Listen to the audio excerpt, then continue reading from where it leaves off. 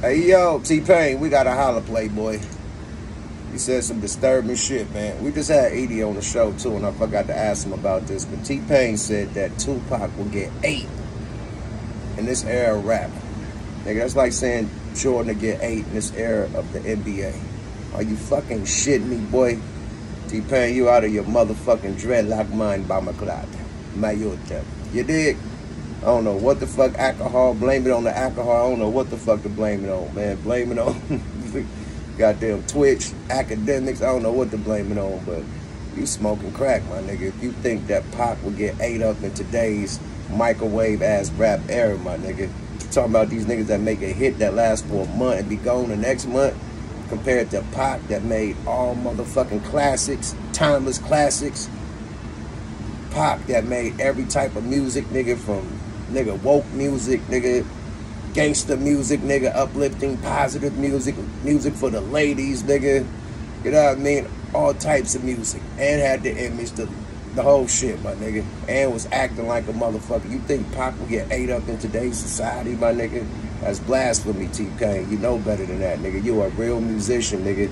You know better than say that's that's our fucking rap Elvis, my nigga. That's like saying Michael Jackson will get ate up by Chris Brown, which you niggas have been saying lately. And that's talking, man, Jackson, nigga. Michael Jackson is our Elvis, nigga. Period. Ain't nobody better than Mike, nigga. I don't give a fuck what these young niggas doing right now. They ain't proved that they better than Mike. Sorry about that. And no motherfucking young rapper nowadays prove that they better than motherfucking Tupac. Now you could do the album sales, the streamings and shit, billions of streams and shit. You could do all that. Far as bar, bar for bar, song for song, man, Pocket eat everybody up, my nigga.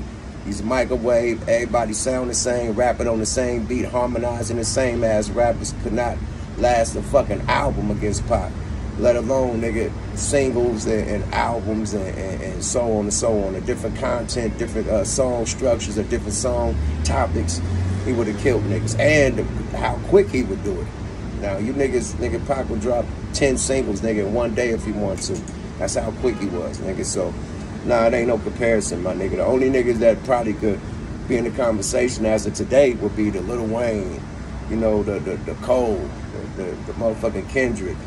You know what I mean? Um, shit, people like that. You know what I mean? There wouldn't be too many that, as far as the young dudes, you know what I mean, that can hang with Pac. This generation. Sorry about that.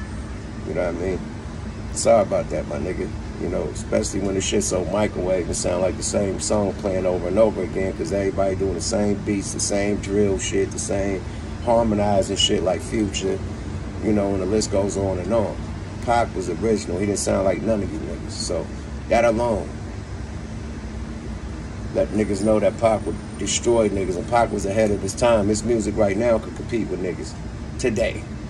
You dig? Talking about subject matter that's happening to us today.